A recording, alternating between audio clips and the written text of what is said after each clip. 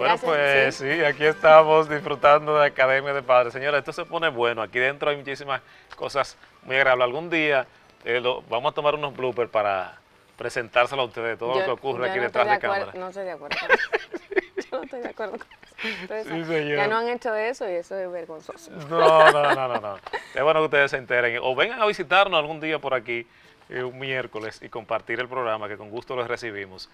Y bueno, tenemos una persona que es nuestra, que se ha constituido en un profesor de la academia, justamente, que nos va a iluminar eh, en este tiempo maravilloso en el que estamos y de cómo la familia nos vamos a preparar bien para la Pascua, para recibir y celebrar la resurrección de Jesús antes en esta cuaresma.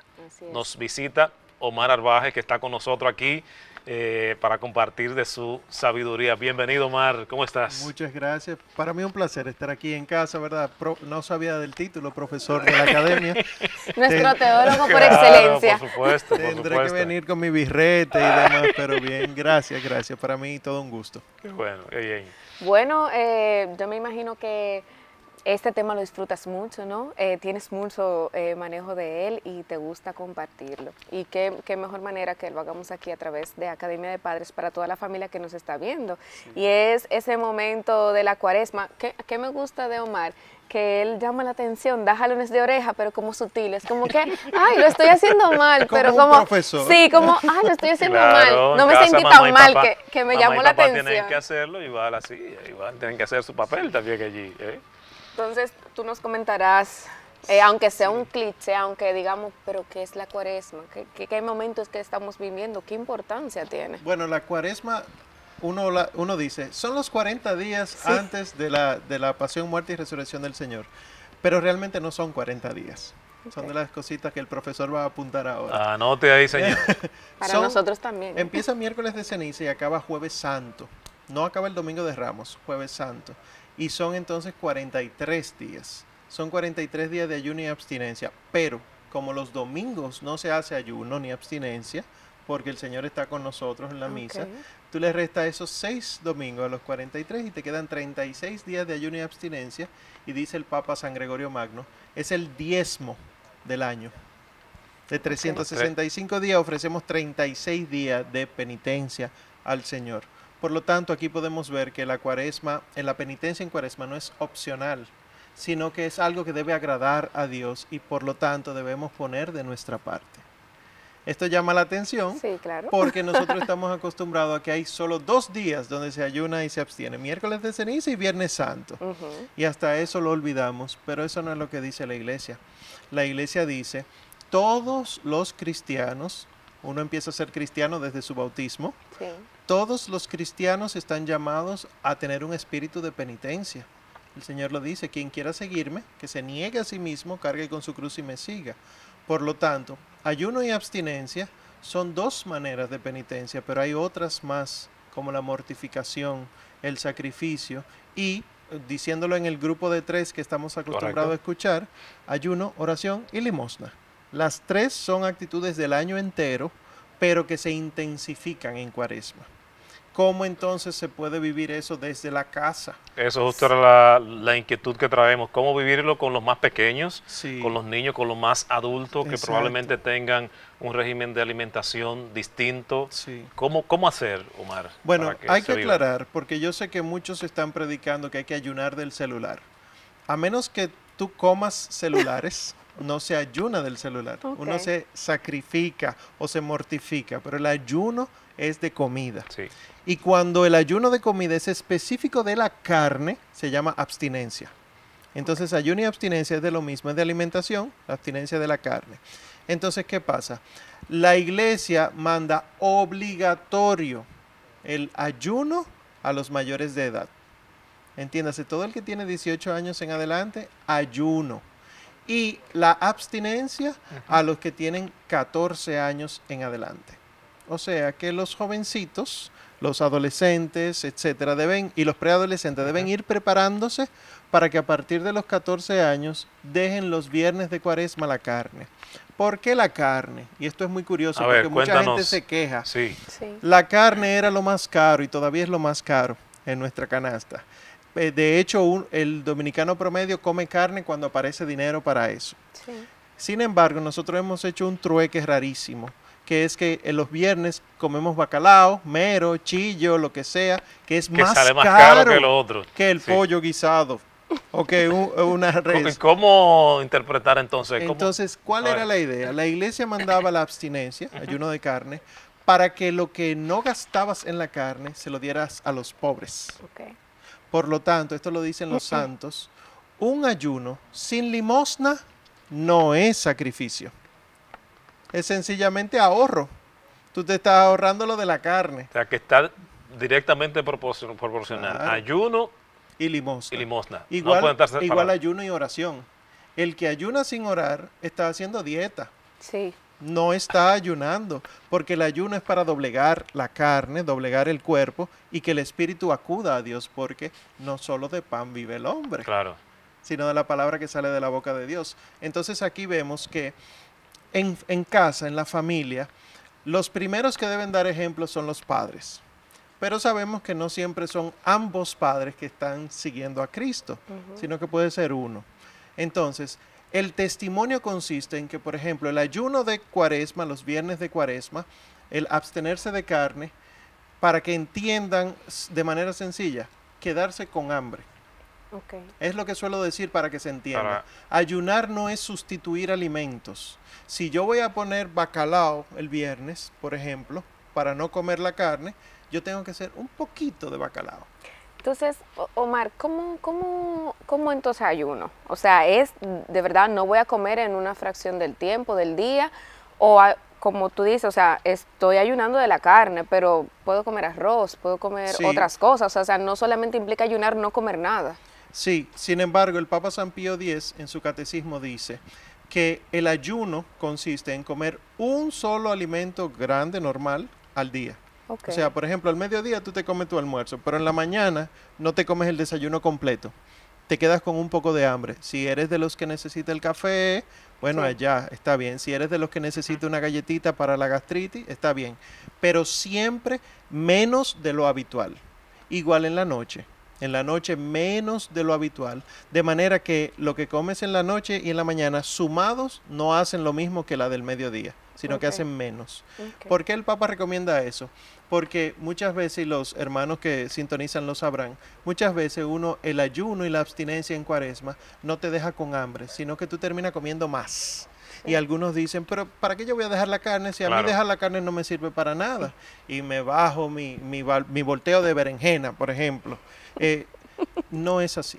Es quedarse con un poco de hambre. Y por eso es que la iglesia lo limita a los mayores de edad o los mayores de 14 años Sí. porque hay un tema del crecimiento. Igual las embarazadas no deben ayunar de esa manera, igual los ancianos ni los enfermos. Pero ¿qué pasa? Que no ayune no quiere decir que no se haga penitencia. Porque hacer penitencia es, por ejemplo, las obras de misericordia. Exacto. Visitar al enfermo, al encarcelado, dar de comer al hambriento, etcétera, pero también las espirituales, que sería bueno que, que se, ustedes las proyecten en algún momento, que la gente las recuerde, porque suelen ser muy olvidadas. Tolerar con paciencia los defectos del prójimo, educar a alguien que necesita ser educado. Esas obras de misericordia espirituales hacen mucho bien. ¿Por qué? Porque yo me molesto mucho, sobre todo en cuaresma. Y si yo tolero los defectos de los demás, yo estoy viendo la misericordia de Dios actuando a través de mí. Claro, justo. Eh, Omar, un tema, eh, alguna persona incluso nos ha preguntado en un momento determinado, el que de repente, bueno, sea el día de la, de la abstinencia, no vamos a comer carne, pero eh, de repente se nos olvidó y en el trabajo pusieron algo de comer y había carne y me la comí o, o pasó y no, no tuve la precaución de que estábamos en el día de ayuno. ¿Qué pasa con, con esos casos? Es que no le estamos dando o no le damos la importancia al tema y de cuando bueno, nos pasó porque no estamos ahí al pendiente. ¿Qué ocurre cuando pasan Bueno, esos pues casos? la iglesia es clara. Cuando tú no vigilas tu fe, la vigilancia de la fe, Sí, es porque tu fe no es tan importante para ti y eso tienes que trabajarlo. sí, Yo entiendo que se te puede olvidar en algún momento. ¿Qué hace uno? Pide perdón a Dios porque es pecado venial, o sea, no hay que confesarlo, pero hay que pedir perdón a Dios y luego retomas el ayuno. Si en medio de la comida te diste cuenta que faltaste a la abstinencia, Entonces tú tienes que discernir en ese momento. Si dejo la carne, se pierde la carne, ¿hay que botarla o no? Si hay que botarla, cómetela. Porque es peor, el ayuno no es botar los alimentos. Claro. Ahora, si se puede guardar para el día siguiente y no cocinar al día siguiente, pues entonces tú suspendes y dices, por favor, guárdeme esto para mañana, o tú mismo lo guardas para mañana. Porque la idea es unificarse como iglesia. En cuaresma es el único momento del año en que la iglesia enterita ayuna de lo mismo. Por lo tanto, estamos unidos como iglesia universal para que los demonios salgan de las casas, porque hay espíritus que solo salen con oración y ayuno. Ayuno. Por lo tanto, hay que orar en familia, hay que ayunar en familia y hay que hacer limosna en familia. Una Bueno, práctica sencillita, sí. y perdón, puede ser, por ejemplo, elegir un vecino que, que la familia sepa, ¿verdad? Que no, no haya que exponerlo, Sí. pero que la familia sepa que está en dificultad y en cuaresma vamos a orar todos juntos por el vecino, por esa familia. Y así entonces los corazones más pequeños de casa se van sensibilizando.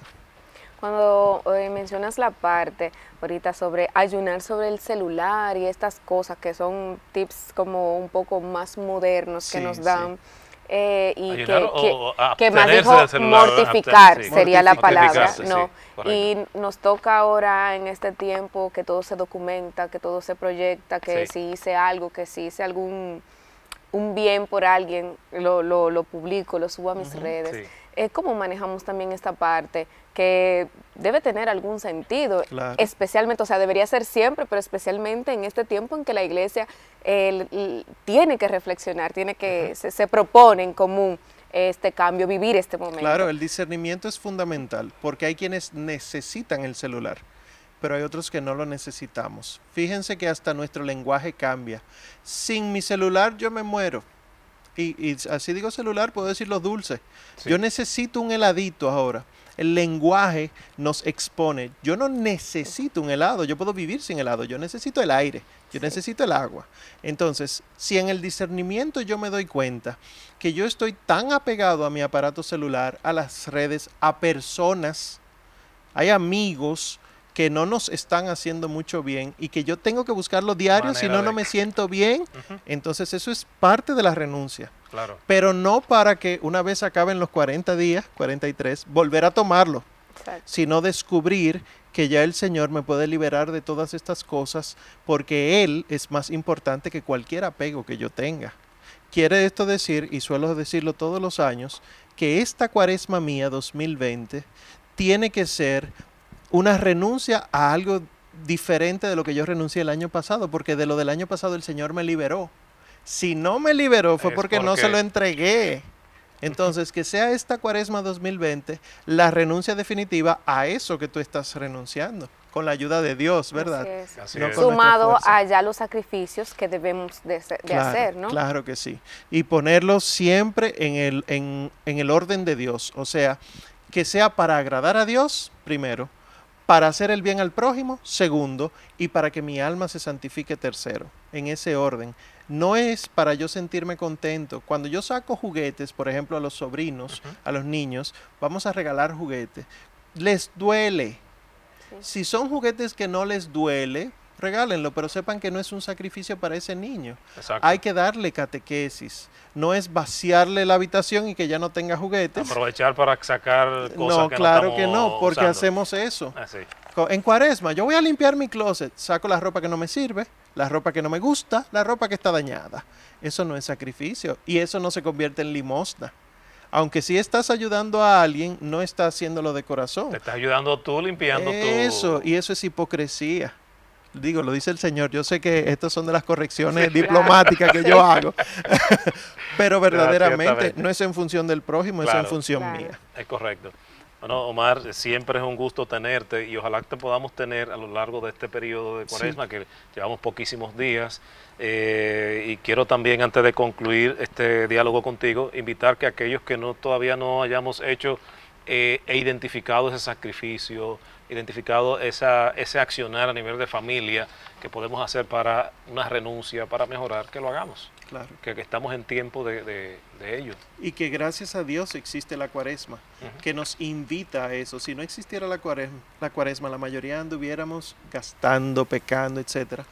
la iglesia ha dispuesto este tiempo y es tiempo de gracia. Qué bueno. Renunciemos para que cuando el Señor resucite, resucitemos con Él. ¿Algún día, eh, algún aspecto litúrgico que debamos estar muy pendiente dentro de estas semanas que todavía quedan de la cuaresma? Pasamos el primer domingo, vienen los demás. ¿Algún, algún aspecto que tengamos que tomar? Sí, bueno, eh, llama la atención siempre que el cuarto domingo el sacerdote se viste de rosa porque es el domingo de la alegría, que nos recuerda que hay una resurrección, que no estamos haciéndonos mal por masoquismo, por hacernos daño, sino para que el Señor se haga grande en nosotros, y por eso el rosa, pero luego, luego vuelve el, morado. el domingo de Ramos, la iglesia se viste de rojo, por la pasión, y el jueves en la mañana solamente en la catedral de blanco, los presbíteros con el obispo, los curas con el obispo la, el ayuno y la abstinencia de los viernes, en nuestro país, nuestros obispos han dicho que si no se puede, que se haga una obra de misericordia.